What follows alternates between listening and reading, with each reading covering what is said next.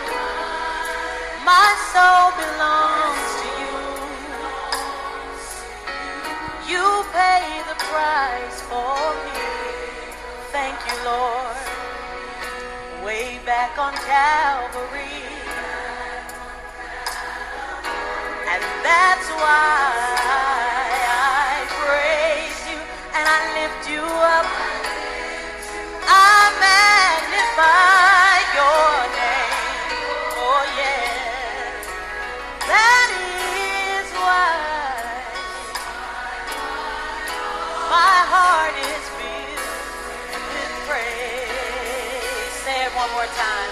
Say my heart, my mind, my soul, my soul belongs to you. You paid the price for me. Way back on Calvary. That's why.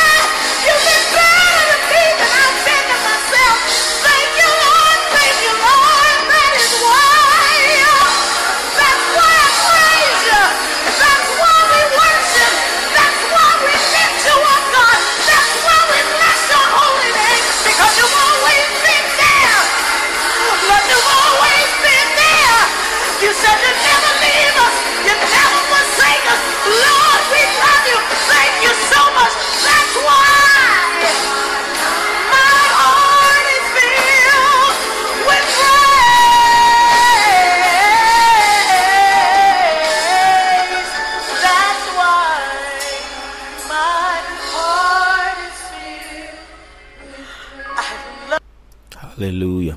Praise God. Thank you, Jesus. Go ahead and just express your love to God this morning. Tell Him that you love Him. Tell Him that you love Him. Tell Him how much you love Him. Jesus will love you. We love you so much. We love you more each day. We love you more every time. We teach passing day, each passing week. We are growing in love more and more with you. Thank you for loving us. Thank you for giving us the grace to love you back. Thank you for helping us to love you back. Thank you for such a beautiful and wonderful relationship with you. Blessed be your name, Jesus. We are grateful. We are grateful, oh God. We are grateful. We are grateful. Thank you, Jesus. Thank you for this good night rest. Thank you for sparing us. Thank you for helping us. Thank you for preserving us. Thank you for your goodness in our families, in the, in our spouses' life, in our children's life. We are grateful, Jesus. Blessed be your name. Thank you, Father. Thank you, Lord. Thank you, Jesus. In Jesus' name. Amen. So we're going to read the Bible now. Please, as we read the Bible, make sure you pray in tongues under your breath. We're reading from Matthew chapter 7. Okay, I read Matthew 7 from verse 1. Judge not that you be not judged. For with what judgment you judge, you will be judged. And with the measure you use, it will be measured back to you. And why do you look at the speck in your brother's eye, but do not consider the plank in your own eye? Or how can you say to your brother, Let me remove the speck from your eye? And look, a plank is in your own eye. Hypocrite, first remove the plank from your own eye, and then you will see clearly to remove the speck from your brother's eye. Do not give what is holy to the dogs, nor cast your pearls before swine, lest they trample them under their feet and turn and tear you in pieces.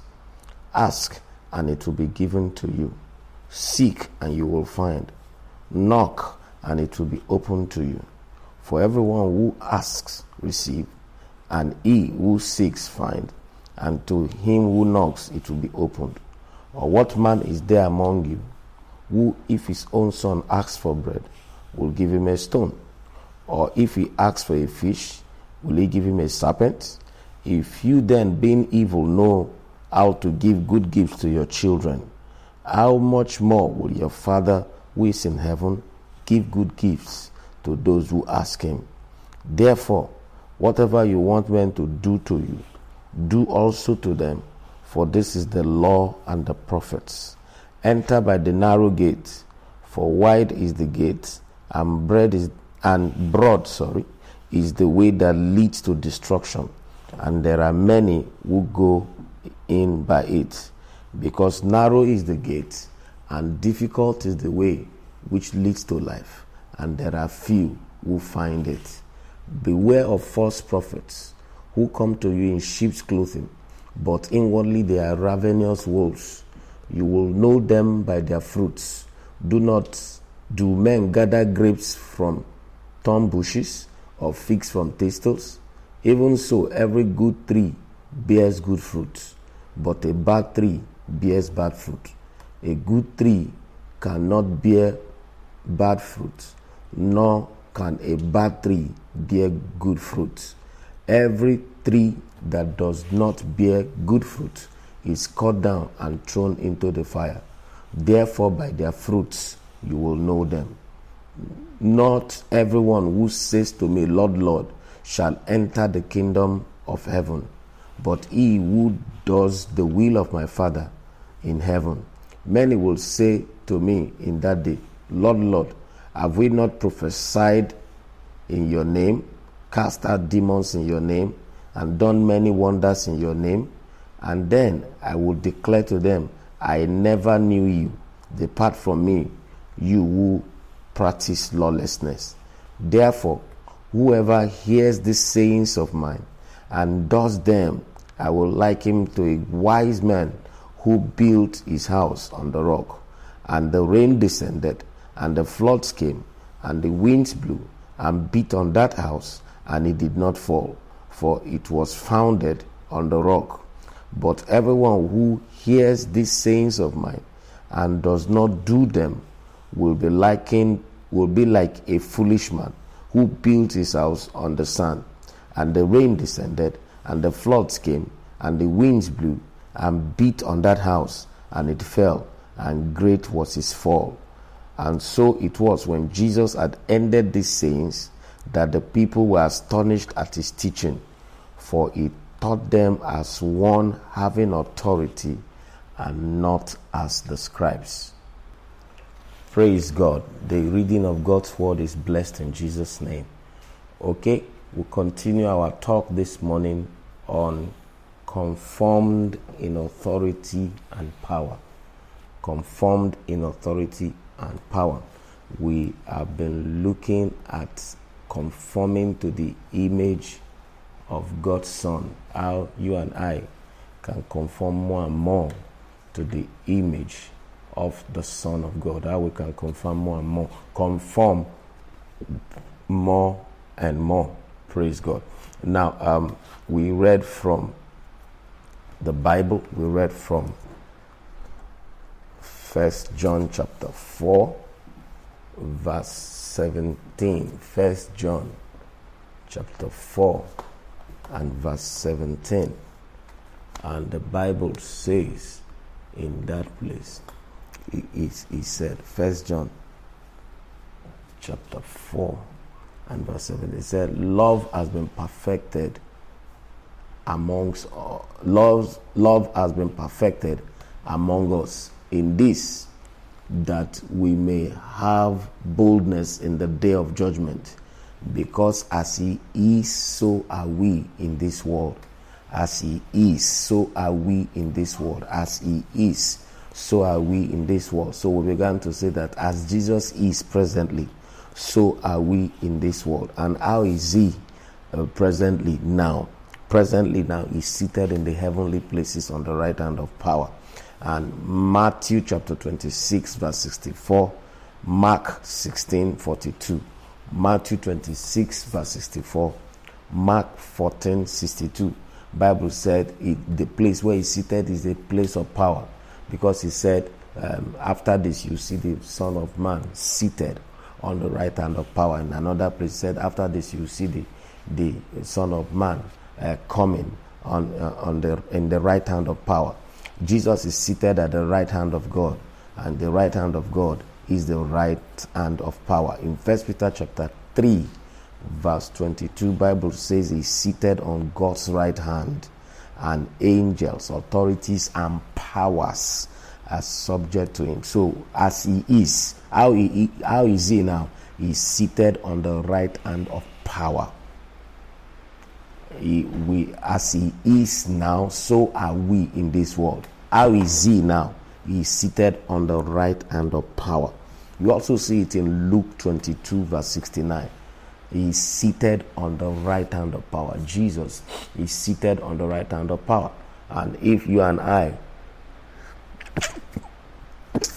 excuse me, if you and I are as He is right now, we are also seated in power. You remember the Bible says that we are seated with Christ in heavenly places. If He is seated on the right hand of power and we are seated with Him, we therefore are seated on also in the on the right hand of God, on the right hand of power. It's so important to you you and I allow that to sink into our spirit. We are seated on the right hand of God, which is the right hand of power. Praise God. So, um, as He is, so are we in this world. You are you have been baptized with power. You are anointed with power. Okay, and uh, so also, Jesus said, John 20, verse 20, he 20, John 20, verse 21, he said, As the Father has sent me, so send I you. As the Father has sent me, so send I you. Now, how was he sent? How was he sent? How was Jesus sent? Jesus was sent, uh, you know, uh, operating in power. You see that in Luke chapter 4. Luke chapter 4. Jesus, Jesus came manifesting much power, manifesting great power. He came manifesting so much power. Luke chapter 4, verse 32. The book of Luke, chapter 4, verse 32. Glory to Jesus. Luke, sorry, I mean Mark. The book of Luke, chapter 4, verse 32. Thank you, Jesus. You and I are called to minister in power. We are called to minister in power. The Bible says, and they were astonished at his teaching, for his word was with authority. His word was with authority. You remember yesterday we said authority is from the Greek word exousia, and it is also translated power. Praise God. Okay, so um, Luke chapter 10, verse 19, you remember that scripture. It said, For I give unto you power to tread upon serpents and scorpions, and over all the powers of the devil, and nothing shall by any means hurt you. I give unto you power. The first power there is the is from the word exousia, which is also authority, to tread upon serpents and scorpions, and over all the powers, abilities, dunamis of the devil, and nothing shall by any means hurt you. So Jesus is seated in power. We are seated in power. Uh, he operated in power when he was here. We are also supposed to operate in power because as the Father has sent him, so he has sent us. He has not sent us powerless. He has sent us to minister in power. He has sent us to minister in power. Look at Luke chapter 9, the book of Luke, chapter 9, verse 1. Luke chapter 9, verse 1. Bible says then he called his 12 disciples together and gave them power and authority over all demons and to cure diseases over all demons he gave them power and authority over all demons he gave them power and authority over all demons you and i have been given power and authority over all demons we have been given power to cure diseases we have been given power to cure diseases we have been given power to cure the diseases. The earlier we begin to imbibe that into our spirit, the better for us. Glory to Jesus. The earlier we begin to buy into that, the better for us. You have been anointed with power and authority over all demons to cure disease and to cure diseases. Praise God. Glory to Jesus. Mark chapter 3, the book of Mark, chapter 3, verse 14 and 15. Then he appointed 12 that they might be with him, and that he might send them out to preach and to have power to heal sicknesses and to cast out demons. To have power to heal sicknesses and to cast out demons. You and I are anointed to have power to heal sicknesses and to cast out demons. We are anointed to cast to have power to heal sicknesses and to cast out demons. I like how Matthew chapter 10, verse 1 puts it. Praise God. Okay? And um, when he had called his disciples, 12 disciples to him, he gave them power over unclean spirits to cast them out and to heal all kinds of sicknesses and all kinds of diseases. So it's our it's our responsibility wherever we come upon darkness, wherever we see the work of darkness, to minister light, to shine light. Whenever we see somebody being oppressed by the devil, it's your responsibility and my responsibility to, to take their hands and pray with them, to, to stand in the gap on their behalf, to take authority and to bind the devil. Glory to Jesus. It's your duty, it's your calling. It's your duty, it's your call. You don't have to feel anointed. You are already anointed. The Christ uh, uh, is is already resident on your inside. Christ means the uh, the ultimately anointed one is resident on your inside. Is on your inside. Jesus is on your inside. All the powers that be are subject to Jesus. Bible says at his name every knee should bow of things in heaven, of things on earth, and of things under the earth. Okay, the same way. So because he is on your inside, things are supposed to bow before you. Glory to Jesus. The earlier we begin to understand it and the earlier we begin to exercise ourselves in it, the better for us. Okay? Uh, we don't need to be afraid. We don't need to. To, to feel anointed, you don't f- need to feel any move of the spirit. Okay, I always say it. I I operate in the prophetic from time to time. And when I've seen the prophetic manifest role in my life, it's not in power services or no no no or or or in services that I feel very anointed. Mostly it happens in home cells when we're like seven people, eight people worshiping, and then I'll just begin to hear God.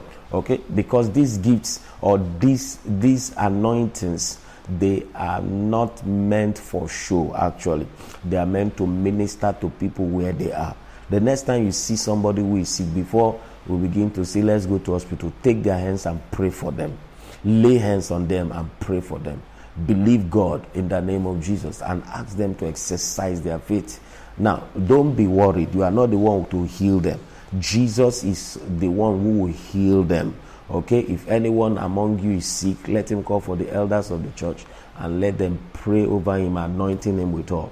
Bible says, and the prayer of faith will heal the sick, and God shall raise him up. It is God who will raise him up. It is God who will raise them up, but it's your own to pray in the name of Jesus. If you believe or feel that any devil is involved, it's your duty to cast out the devil in the name of Jesus. You we needn't be afraid at all. Praise God. So you already have it. You, we have established that. John 1 verse 12. As many as uh, believed, uh, as many as received him, to them he gave power to be the sons of God. You have been anointed with power to operate as a son of God. You have been anointed with power. And then you have the Holy Spirit in Luke 24, verse 49, he said that they should tarry in Jerusalem until they be endued with power from on high. And in Acts 1, verse 8, he said, When you, the, the, uh, you shall receive the Holy Ghost, after the you shall receive power, sorry, after that the Holy Ghost is come upon you. You and I are born again. We are also anointed with the Holy Ghost. We have, uh, therefore, we have the Spirit of power. The Spirit of God is the Spirit of power. You have been anointed with power. Okay, so I want you to go out today, go out this week, and then believe God to see situations that will involve your intervention. When you do see such situations, don't shy away.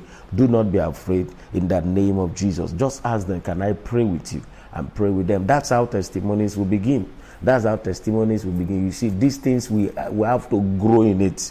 We have to grow in it. But before we can grow in it, we have to take baby steps. Look at the child. Look at uh, uh, uh, all all these marathoners or sprinters, you know, um, and, and all that. Look at all of them.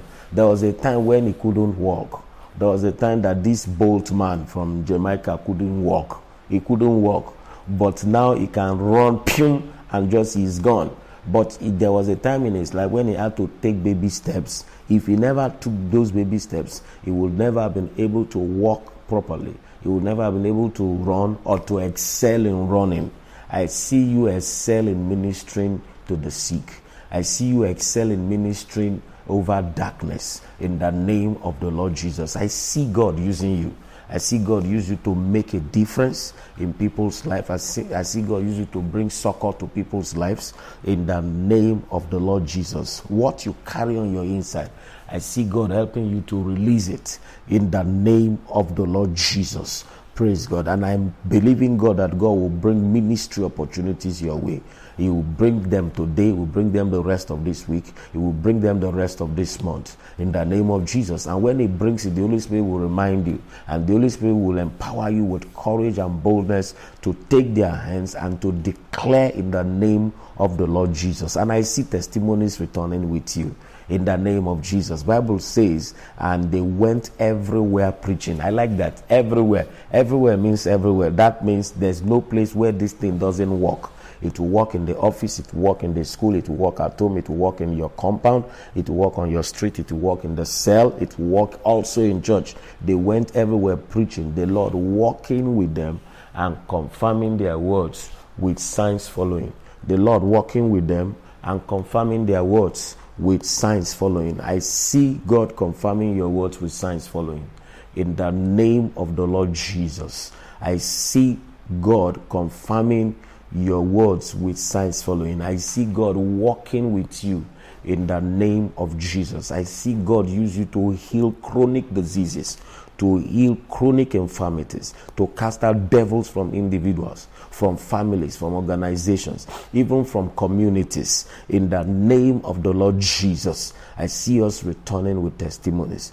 Bible says, and the 70 returned with test with reports. It said the, the report saying the devils are subjects to us in your name. I see that the Bible says they return with joy. I see you return with joy. Uh, in the name of Jesus. Philip preached in Samaria, and Bible says there was great joy in that city. I see great joy erupt as you stand ministering in the name of Jesus. Praise God. So please go ahead this morning and just thank God. Thank God because you have the power. Thank God that you have the power. Say, I have the power and I thank God for it. Go ahead and tell yourself, I have the power and I thank God for it. Lord God, I thank you because I have the power. I thank you because I'm anointed with power. Power against all unclean spirits to cast them out and over all manners of diseases to heal them in the name of Jesus as I'm growing day by day and more and more in being conformed to Christ in the name of the Lord Jesus. Thank you, Father. Thank you, Father. Thank you, Father. Thank you, Father. In the name of the Lord Jesus. Thank you, Lord. Thank you. I am anointed with power and I am anointed with authority. I'm anointed with exousia.